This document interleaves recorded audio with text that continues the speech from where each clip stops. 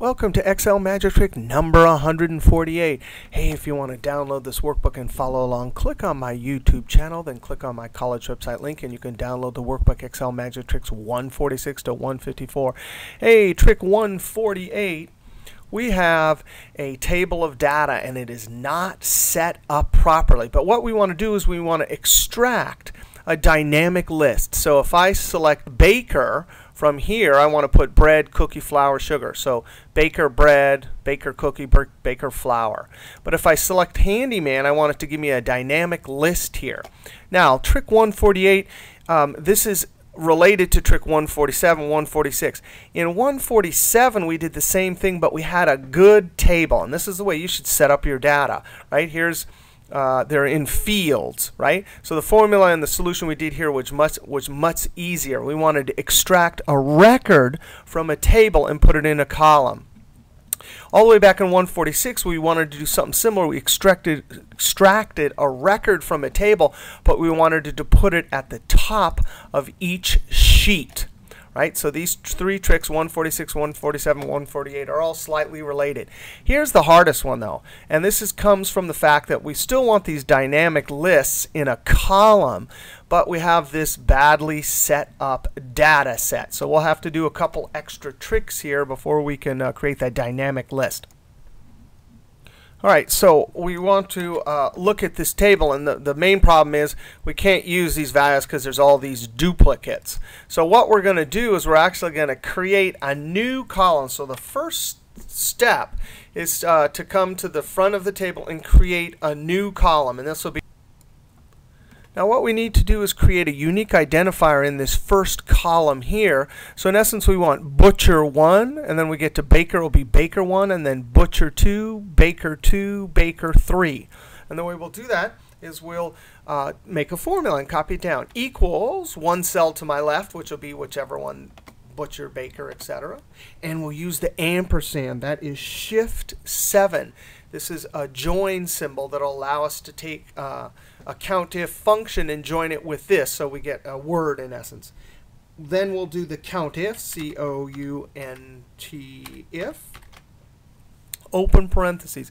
And what we want is we want to count uh, um, how many bakers there are. Now what we need to do is click on cell C14, but I can't get to it, so I'm going to use my arrow keys.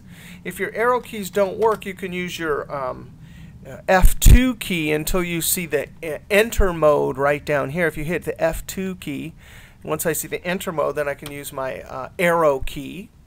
And then I want to hit shift colon. The reason why I want C4 to C4 is because I need this to be an expandable range. And the way we do that is we double click the first cell reference and hit the F4 key twice because I want the dollar sign in front of the number. So when I copy it down, that's locked. So this is a cool trick because then it will, uh, right now it'll just see one butcher, right? But when it gets down here, this range will expand, and so then the count will be 2. Uh, and then we need to put a comma, and now we need to get one cell to my left. And so I'll do my arrow key. Notice my arrow key doesn't work because the, I'm in edit mode, so I'll hit F2 until I see enter, and then I'll hit my uh, right arrow key close parentheses. And that formula will create a unique identifier. And this is a good trick because we do get situations where we have this bad data and we want to use VLOOKUP or something. So creating a unique identifier like this is great. Control Enter. And then I'm going to double click and send it down. And sure enough, that worked fine. If you go down to this one and hit F2, you can see how that uh, green range C14 to C17 expanded. Why don't we name this table first? Then it will be easier. We don't have to come over and get it. I'm going to name this whole table. And then I'm going to click up in the name box. And I'm going to call this um, table for lookup. No spaces. And then hit enter. Table for lookup. And you can even uh, click here, and it's always wise to do this, and then click the drop down and see if we can uh, select this. And sure enough, if it selects the right one, OK, we got it. Now we need to come over here and add data validation. And I want to click in cell F14 and then hold my control key, and then click in H14 and then in J14. I use my control key to highlight areas that are not next to each other, non-contiguous. And now we need to add data validation. Now, I have my list of names over here. So I'm going to use data validation list, and we'll get those names. A data validation is data, and then here, data validation, that's 2007. In 2003, it's the data menu, and then data validation. The keyboard shortcut that works in both versions is Alt-DL. Alt-DL, and then we want to say list. And then the source is, I'm going to have to click there. Whenever you see that little uh, collapsible box there, that means you can link whatever uh, the text box is to some cells. There it is. I'm going to select P14 to P16 and then click OK. All right, so there we have it. We can select a butcher, baker, and handyman. Now, um, I'm going to create a formula here that will work in all of these cells.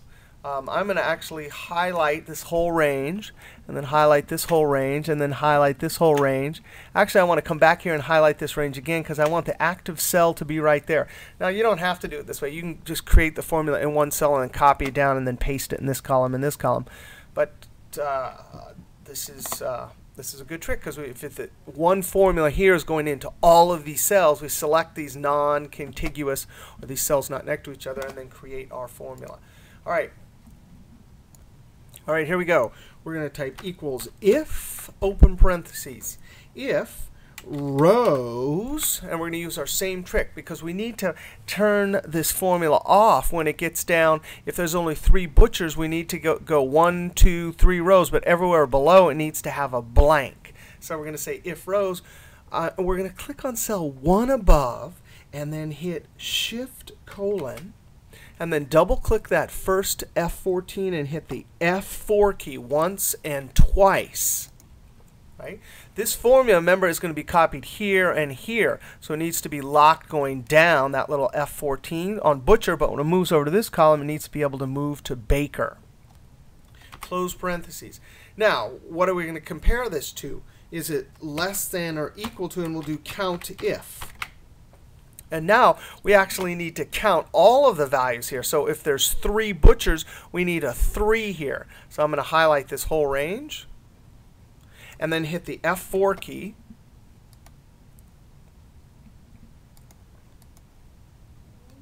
And comma, and then we need to click on this butcher right here, and the same thing, F4, F4 to lock it going down, but not oh, um, as it goes to the sides.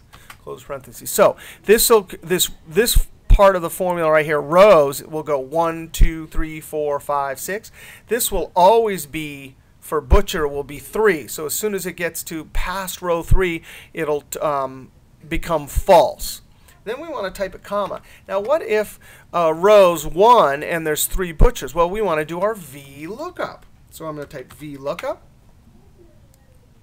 Now the lookup value is going to be the trick here, and this will be an example of how you can actually do a formula for the VLOOKUP. Because look, we need the VLOOKUP to be looking at this right here, which is uh, a data validation dropdown. But we need a 1, a 2, a 3. So here's what we're going to do. We're going to uh, click on this cell and then hit F4, F4 because it needs to be locked going down but not to the side.